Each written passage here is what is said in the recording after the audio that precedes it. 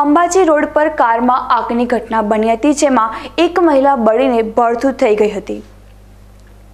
અંબાજીથી દર્શન કર્યા બાદ પતિ પત્ની પોતાની કારમાં ઘરે પરત ફરી રહ્યા હતા.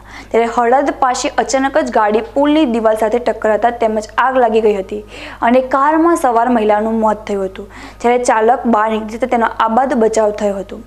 ઘાયલને અંબાજી રેફરલ સારવાર અર્થે ખસેડાયો હતો. ઘટનાને પગલે અંબાજી ફાયર વિભાગ ઘટના સ્થળે પહોંચ્યું હતું અને કારમાં લાગેલી આગને બુજાવી હતી. જ્યારે હળાદ પોલીસે ઘટના સ્થળે જઈને આગ લાગવાને કારણે તપાસ કરી હતી અને આ સમગ્ર બનાવની હળાદ પોલીસે તપાસ હાથ ધરી હતી.